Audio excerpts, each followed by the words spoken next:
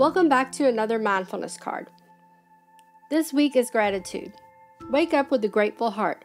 Place this card next to your bed each morning to set the tone for the day and to help cultivate the habit of gratitude daily.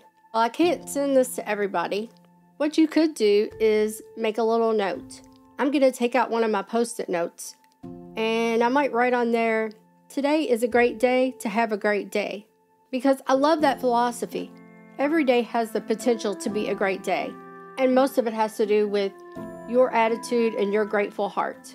You can make it as basic or as elaborate as you want.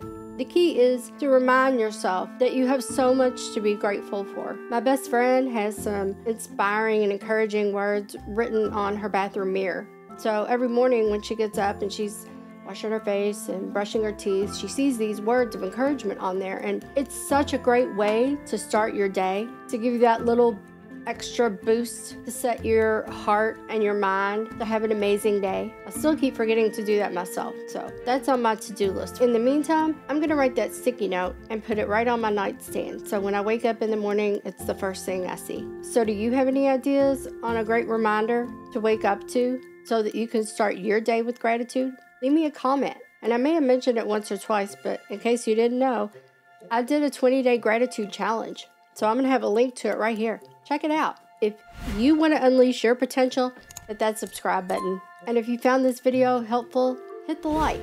And as always, thank you so much for watching.